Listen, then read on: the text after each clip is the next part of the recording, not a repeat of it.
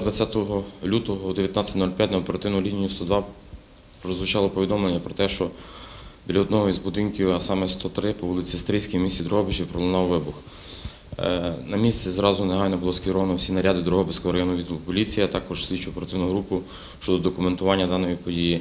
Прибувши на місце події, слідчо оперативна група виявила двох чоловіків без ознак життя, які загинули на місці події від зриву гранати, а також жінку, яка подальшому була госпіталізована в Дрогобицьку міську лікарню з тяжкими тілесними ушкодженнями. На даний час вона знаходиться в реанімаційному відділенні.